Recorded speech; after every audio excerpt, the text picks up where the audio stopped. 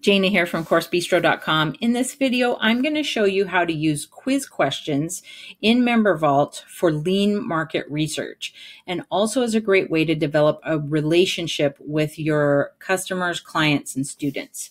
So here we are in MemberVault. I'm here under quiz answers. These are the questions that you put at the tail end of each lesson at the lesson level. These are not available on the module level or on the product level, but the lesson level. And anytime you ask questions at the end of those lessons, it'll show up here and it'll also show up with a bright number of how many quiz questions there are yet for you to process and look through. So someone who has looked at the hiring toolkit um, these are some basic questions, and you want to be strategic about how you ask the types of questions at the end of each lesson, especially if you want to gather ideas for creating better and more resources uh, for future clients.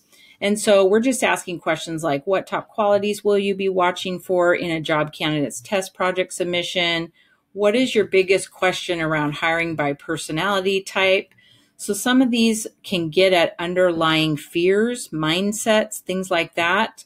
You know, her response is, What if I hire more people like me? Will I gain the necessary perspective or pushback insight for various products or projects? So, what we might want to do is put more language in our toolkit around hiring differently than yourself with these important points in mind to round out your skill set as a CEO or an executive virtual assistant or a project manager working for someone. If you're helping to do some hiring, you want to have team members who are actually more different than you than similar to you. Right here, we have uh, which part of writing a job description is most difficult to you and, and why. And so when we read the responses, one, we can check that we've read the response. Two, we can reply back to the person who answered the question in real time without going out to our email provider or getting into our own email account. You can email them back right here, which is a great way to build a relationship with those students. And another great feature in here in MemberVault is that if you want to download all these responses, you just click here and it downloads it into a spreadsheet for you.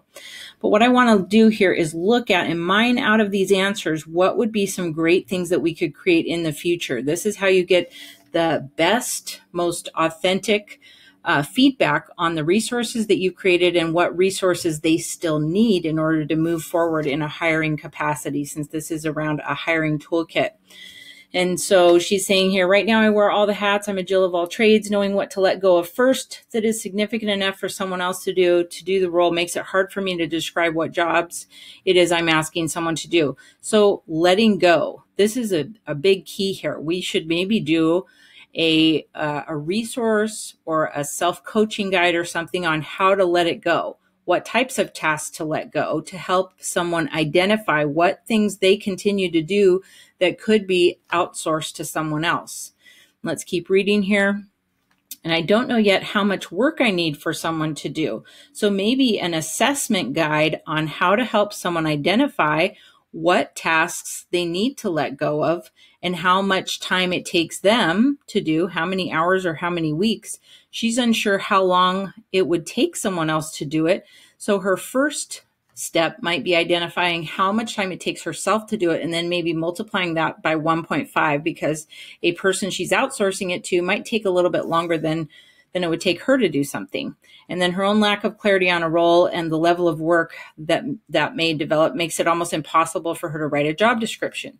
And so I know that part of the, the hiring toolkit includes a job description template. So I know that piece is already in there, but maybe helping them to identify the role and the level of work, how many hours it's going to take, maybe a resource around that would be a great thing for me to create. So these quiz questions gives you a ton of insight and ideas if you'll analyze them and look at what resources can be created.